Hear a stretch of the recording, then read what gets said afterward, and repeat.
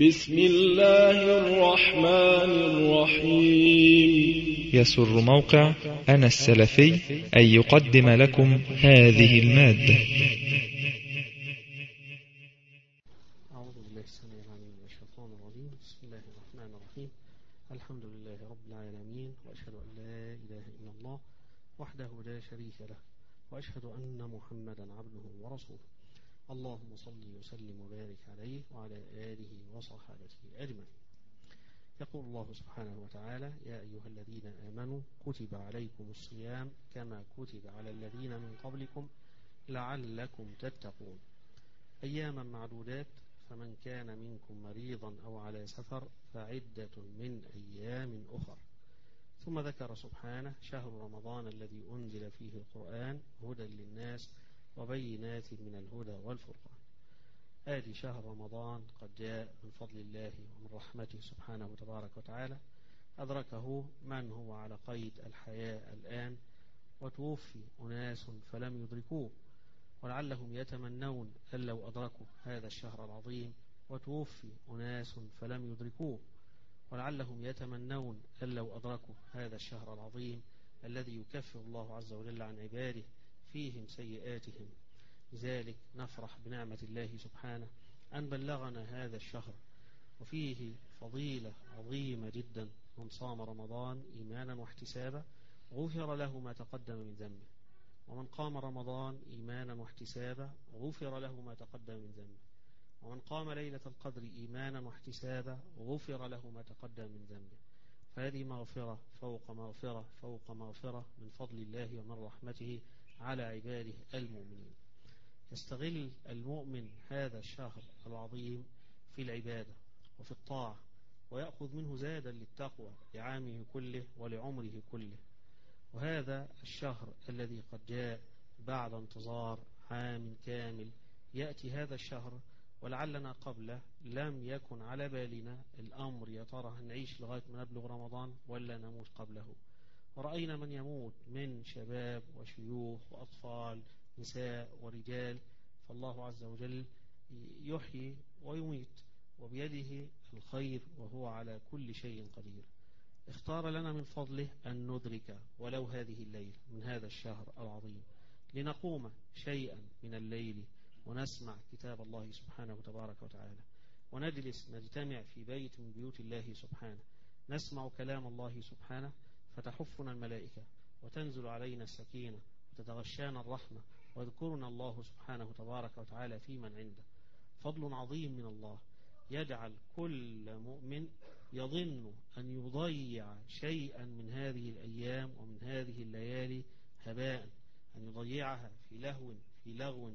لذلك المؤمن علشان يطلع بزاد من التقوى يحسب على نفسه كل يوم ما الذي عمله في هذا اليوم.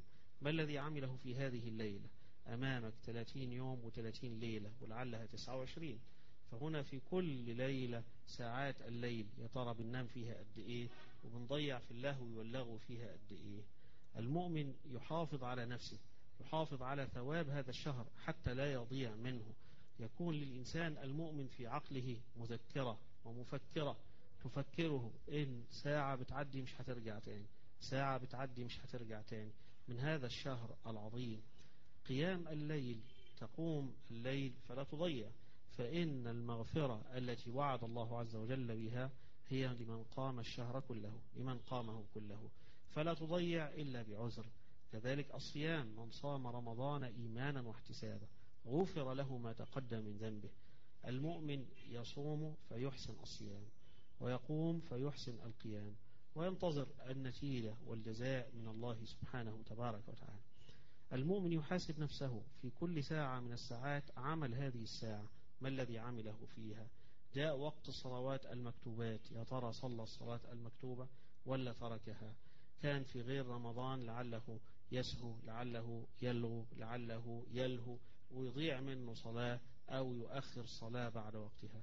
يا ترى في رمضان هيقدر يواظب على الصلوات حيث ينادى بهن ولا هيبقى في أول رمضان بس الإنسان بيواظب وفي آخر رمضان ينسى الإنسان ويبقى ضاع منه الثواب العظيم والفضل من الله سبحانه وتبارك وتعالى. صلاة المكتوبة في أوقاتها حيث ينادى بهن في بيت الله سبحانه. أداء النوافل الرواتب إذا كان الإنسان ما تعودش عليها هيلاقي الكثيرين يصلونها ويواظبون عليها. وفي ذلك فليتنافس المتنافسون. فرصة للتنافس في هذا الشهر يدفع الإنسان ليتنافس في غيره وأنه يوصل لأعلى درجة ويكون يصير على هذه الدرجة على طول إلى ما شاء الله سبحانه وتبارك وتعالى. ربنا قال لنا لعلكم تتقون. فإذا الإنسان نجح في امتحان التقوى لعل الله عز وجل يثبته على ذلك حتى يتوفاه سبحانه تبارك وتعالى. لذلك لا تضيع جزءا من يومك هباء. يكون قيامك ويكون نومك ويكون في في راحتك وفي عملك في كل شيء تحتسب الأجر عند الله سبحانه وتبارك وتعالى. وجرب جرب في هذا الشهر العظيم أن يكون ليلك ونهارك كله لله سبحانه وتبارك وتعالى. وأنت نائم تحتسب بهذا النوم أنك تقوم تتقوى بهذا النوم على طاعة الله عز وجل. وتتقوى على العمل عشان تأكل عيشك وتطعم أطفالك فتكسب حلالا ويرزق الله سبحانه وتبارك وتعالى ويكف بذلك يدك ووجهك أن تبتذل لأحد من خلق الله سبحانه وتبارك وتعالى. الثواب اللي الإنسان بيبتغيه في النوافل في المكس في الصلوات في المساجد إذا كان الإنسان ما هواش في عمل وعنده وقت فراغ فليكن في بيت الله سبحانه وتبارك وتعالى ساعة أو ساعات وليحتسب ذلك شيئا من الاعتكاف في بيت الله سبحانه.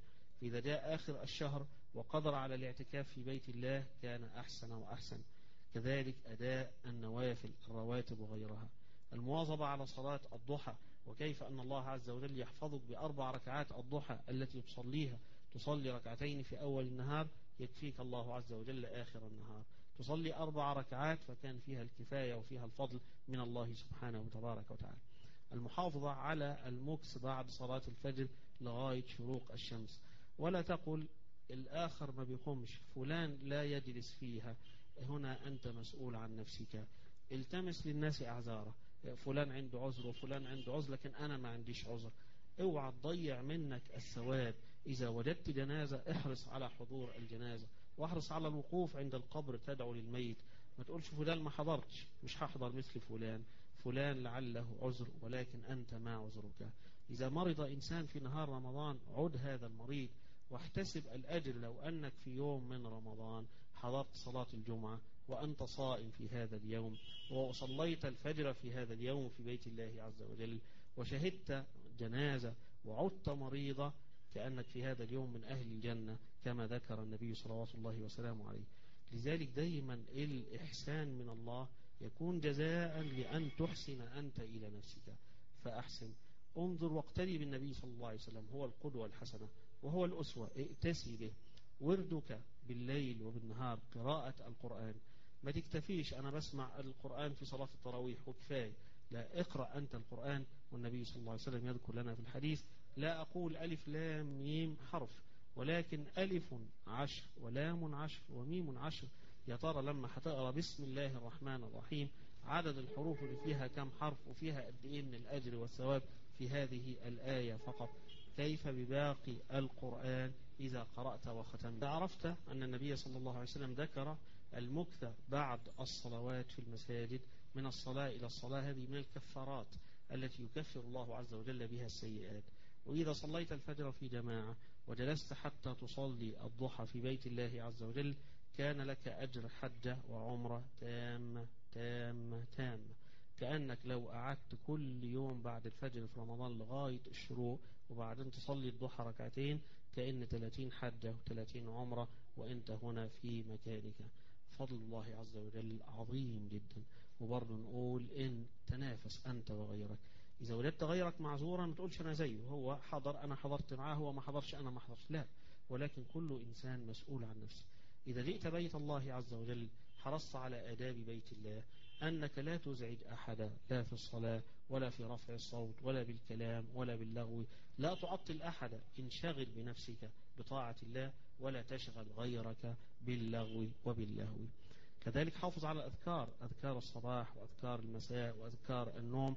إذا كنت قبل ذلك بتكسل فيها أو بتنساها أو بتنشغل احرص في رمضان إنك تواظب في ساعات اليوم على الورد بتاعك من الذكر ومن قراءة القرآن بحيث إن تبقى عادة. فإذا انتهى رمضان كانت ذات وأذكار النوم. إذا كنت قبل ذلك بتكسل فيها أو بتنساها أو بتنشغل احرص في رمضان إنك تواظب في ساعات اليوم على الورد بتاعك من الذكر ومن قراءة القرآن بحيث ان تبقى عادة. فإذا انتهى رمضان كانت زادا للتقوى لك. كذلك في رمضان الإنسان المؤمن يحرص على اجتناب العادات السيئة حتى يتعود على ذلك اللي كان بيشرب سجاير ودخل شهر رمضان لعل الله عز وجل يتوب عليه. سجاير حرام يا جماعة. السجاير هذه بتتنقع في الخمر. اللي بيشرب السجاير بيشرب حاجة تنقعت في الخمر وده يشربها يؤذي نفسه. والنبي صلى الله عليه وسلم يقول لا ضرر ولا ضرار وحرم علينا كل مسكر وكل مفتر.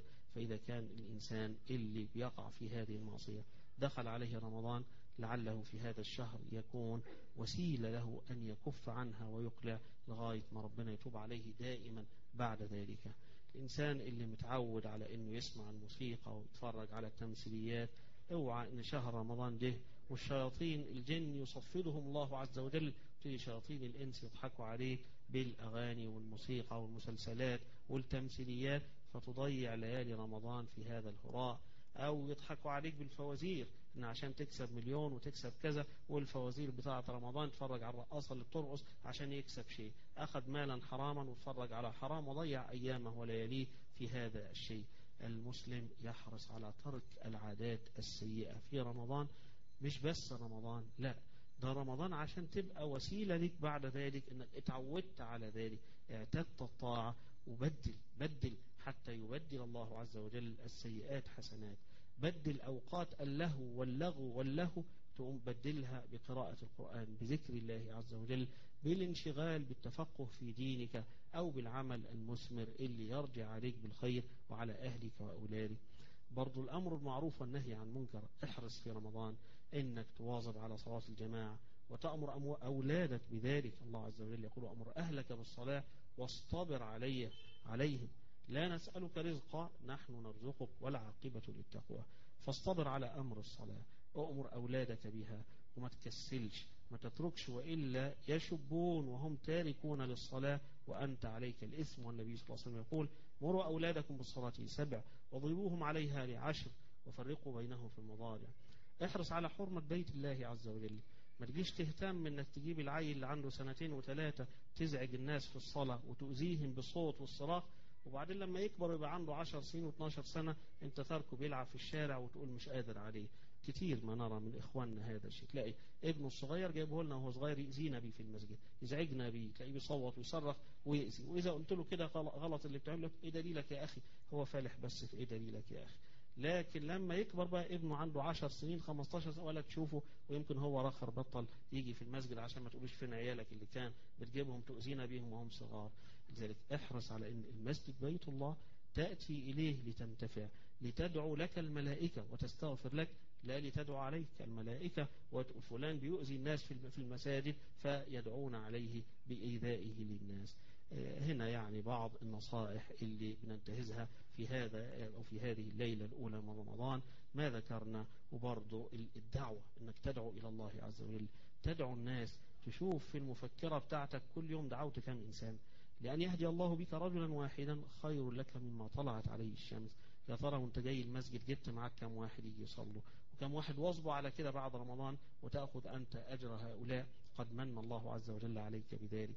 استقبال الناس الذين يأتون إلى بيت الله عز وجل هل تستقبلهم بتجهم ولا تستقبلهم بوجه باسم وبترحيب بهم في بيت الله؟ وكثير في رمضان يكون زوار المساجد جداد بيجوا للمرة الأولى لعل ربنا سبحانه وتعالى يجعلهم يواظبون على اتباع سنة النبي صلى الله عليه وسلم وعلى صلاة الفريضة في المساجد. هذه الدعوة إلى الله عز وجل ادعو إلى سبيل ربك بالحكمة والموعظة الحسنة. تماشي في الطريق إذا لقيت شباب تقدر إنك تكلمهم. لك عليهم كلام كلمهم وادعوهم إلى الله عز وجل. ادعوهم إلى بيت الله سبحانه. إذا لقيت اللي بيلهو بيحدف بومب ويعمل يزعج الناس أؤمر بالمعروف برفق وانهى عن المنكر برفق. لعل الله عز وجل يهدي على يديه. من يشاء يكون لك الأجر العظيم عنده. نسأل الله عز وجل أن يعيننا على ذكره وشكره وحسن عبادته وأن يجعل عملنا كله صالحا له خالصة ولا يجعل لأحد فيه شيئا. أقول قولي هذا أستغفر الله العظيم وصلي اللهم وسلم وبارك على سيدنا محمد وعلى آله وصحبه أجمعين.